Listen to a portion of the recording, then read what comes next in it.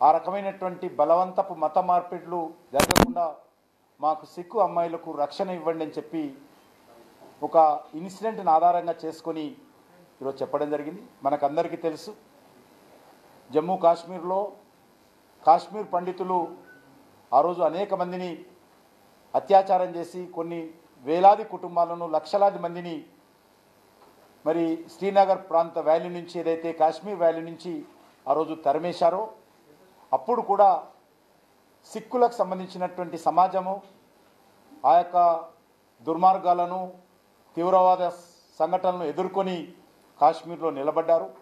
ఇప్పుడు కూడా అనేకమైనటువంటి సెన్సిటివ్ ఏరియాలో పాకిస్తాన్ సరిహద్దుల్లో భారత భూభాగంలో ఈరోజు సిక్ సమాజము అక్కడ నిలబడ్డారు. ఇవన్నిటిని తట్టుకొని వాళ్ళను కూడా భయపెట్టించాలనేటువంటి ప్రయత్నము అనేక సంవత్సరాలుగా జరుగుతున్నప్పటికీ వాళ్ళు తిప్పికొట్టడం జరిగింది. ఇప్పుడు కొన్న మొన్న కొన్ని ఇన్సిడెంట్ జరిగాయని చెప్పారు. తప్పకుండా కేంద్ర ప్రభుత్వము జమ్మూ కాశ్మీర్ ప్రభుత్వము అక్కడ ఏదైతే సిక్కు అమ్మాయిల మీద మరి మత మార్పిడుల కోసం దౌర్జన్యాలు చేస్తున్నారో దాని నుంచి రక్షణ కల్పించే విషయంలో అన్ని చర్యలు తీసుకుంటాము. నాకు నివేదిక ఇచ్చారు వాళ్ళందరూ కూడా. వాళ్ళందరి నివేదికలు తీసుకుని తప్పకుండా భారత్ ప్రభుత్వము వాళ్ళకు రక్షణ కల్పించే విషయంలో భవిష్యత్తులో ఈ రకమైనటువంటి సంఘటనలు పునరావృతం కాకుండా అన్ని రకాల చర్యలు తీసుకుంటామని వాళ్ళకి హామీ ఇవ్వడం జరిగింది. అదేవిధంగా బెంగాల్లో జరిగినటువంటి ఇటీవల అసెంబ్లీ ఎన్నికల తర్వాత అక్కడ అనేక రకాలుగా దౌర్జన్యాలు జరుగుతూ ఉన్నాయి అత్యాచారాలు జరుగుతున్నాయని చెప్పి కాల్ ఫర్ జస్టిస్ అనేటువంటి ఒక సంస్థ మాజీ న్యాయమూర్తులు మాజీ డీజీపీలు మాజీ చీఫ్ సెక్రటరీలు సమాజంలో ఉన్నటువంటి ప్రముఖులతో కలిసి వాళ్ళు జమ్మూ కాశ్మీర్ పర్యటించి రావడం జరిగింది. అనేక వందలాది మందిని వందలాది గ్రామాలను కూడా కలిశారు. వాళ్ళని కలిసి అక్కడ ప్రత్యక్షంగా వీడియోలతో సహా వివరాలన్నీ కూడా కేంద్ర ప్రభుత్వానికి ఈరోజు సమర్పించడం జరిగింది. ఒక సమగ్రమైనటువంటి నివేదిక కూడా వాళ్ళు మరి ఇవ్వడం జరిగింది.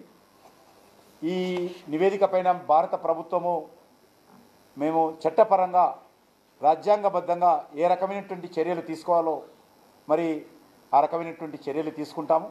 దానికి సంబంధించి మరి హోంమంత్రి అయినటువంటి అమిత్ షా గారికి నివేదికలు ఇచ్చేస్తాం ఇచ్చి మేము కేంద్ర ప్రభుత్వం ఏం చేయాలో తప్పకుండా చేస్తాం ఎందుకంటే సుమారు ఈ యొక్క ఎన్నికల అనంతరం జరిగినటువంటి హింసలో హింసాత్మకమైనటువంటి సంఘటనలో సుమారు ఇరవై ఐదు మంది చనిపోయినట్టు అదేవిధంగా సుమారు పదిహేను వేల ఇన్సిడెంట్స్ పదిహేను వేల హింసాత్మక సంఘటనలు జరిగినట్టు అదేవిధంగా పదహారు జిల్లాలలో మొత్తం ఇరవై ఆరు జిల్లాలు వెస్ట్ బెంగాల్లో ఉంటే పదహారు జిల్లాలలో ఈ యొక్క వైలెన్సు బాగా హింసాత్మకంగా బాగా జరిగినట్టు వాళ్ళు తమ నివేదికలో పేర్కొన్నారు. చాలామంది వెస్ట్ బెంగాల్లో ఎవరైతే అధికార పార్టీకి ఓటు అయినటువంటి ప్రజలు ఉన్నారో అధికారంలోకి వచ్చినటువంటి ప్రభుత్వము తమ పార్టీకి పోయినటువంటి ఓటు వేయనటువంటి వాళ్ళని గుర్తించి ప్రధానంగా భారతీయ జనతా పార్టీకి ఓటేసినటువంటి దళితులు కావచ్చు గ్రామీణ ప్రజలు కావచ్చు మహిళలు కావచ్చు పేదలు కావచ్చు వాళ్ళను గుర్తించి ఐడెంటిఫై చేసి వాళ్ళ మీద దాడులు చేయడము ఇండ్లను తగలబెట్టడము అదేవిధంగా అత్యాచారాలు చేయడము వాళ్ళ రేషన్ కార్డ్స్ లాక్కోవడము వాళ్ళకు రేషన్ ఇవ్వకపోవడము వాళ్ళకి ఇంటికి వస్తున్నటువంటి డ్రింకింగ్ తాగునీటి వాటర్ కనెక్షన్స్ను తొలగించడం అనేటువంటి సంఘటనలు చేస్తున్నారని చెప్పి సమగ్రమైనటువంటి వీడియోలతో సహా వాళ్ళు నివేదికలు ఈరోజు ఇవ్వడం జరిగింది. అదేవిధంగా అనేక మంది వెస్ట్ బెంగాల్ వదిలిపెట్టి గ్రామాలను వదిలిపెట్టి సొంత ఇళ్ళను వదిలిపెట్టి అస్సాము జార్ఖండ్ అదేవిధంగా ఒరిస్సా లాంటి రాష్ట్రాలు కూడా వలస వెళ్ళారని చెప్పి వాళ్ళందరూ కూడా శరణార్థులుగా అక్కడ ఈరోజు క్యాంపులలో ఉంటున్నారని చెప్పి కూడా నివేదికలు ఇవ్వడం జరిగింది. వీటన్నిటిపైన మేము తప్పకుండా చర్యలు తీసుకుంటాము. ఎక్కడైనా సరే ఇది శాంతి భద్రతల సమస్య అనేటువంటిది రాష్ట్ర ప్రభుత్వ పరిధిలోని అంశము. రాష్ట్ర ప్రభుత్వాలు వీటిపైన చర్యలు తీసుకోవాల్సినటువంటి బాధ్యత రెస్పాన్సిబిలిటీ రాజ్యాంగంలో వాళ్ళకి ఇవ్వడం జరిగింది. ఒకవేళ రాష్ట్ర ప్రభుత్వాలు ఆ రకంగా ఫెయిల్ అయినప్పుడు మరి ఆ రాష్ట్రంలో రాజ్యాంగ అధినేతగా ఉన్నటువంటి గవర్నరు మరి ప్రజలలో విశ్వాసం కల్పించేటువంటి ప్రయత్నం చేయాలి. ప్రభుత్వం పక్షపాతంతో ఉన్నప్పుడు పక్షపాతంతో వేరించినప్పుడు రాజ్ గవర్నర్ బాధ్యతగా ఆయన కొంత ఈ బాధ్యత తీసుకోవాలి. కానీ దురదృష్టం ఏంటంటే ముఖ్యమంత్రిగా కానీ రాష్ట్ర ప్రభుత్వంగా కానీ వెస్ట్ బెంగాల్ ప్రభుత్వము ప్రజలకు ధైర్యం కల్పించే ప్రయత్నము నిష్పక్షపాతంగా వివరించేటువంటి ప్రయత్నము వెస్ట్ బెంగాల్ ప్రభుత్వం చేయడం లేదు. ఆ ప్రయత్నము గవర్నర్ చేస్తే గవర్నర్ కూడా టార్గెట్ చేసి గవర్నర్ను అనేక రకాలుగా మరి అవమానం చేయడము ఆయన మీద తప్పుడు ప్రచారం చేయడము వెస్ట్ బెంగాల్లో జరుగుతూ ఉంది. ఇది ఏ మాత్రం కూడా మరి కొత్తగా గెలిచినటువంటి ప్రభుత్వము రాజకీయాలకు అతీతంగా అన్ని వర్గాలకు రక్షణ కల్పించాల్సినటువంటి ప్రభుత్వము తినడానికి కేంద్ర ప్రభుత్వం ఇచ్చేటువంటి బియ్యాన్ని కూడా మరి పేద ప్రజలకు అందకుండా రాజకీయ దృక్పథంతో వాళ్ళ నోటికాడు కూడు అడ్డుకోవడం ఏదైతున్నదో ఇది న్యాయం కాదు.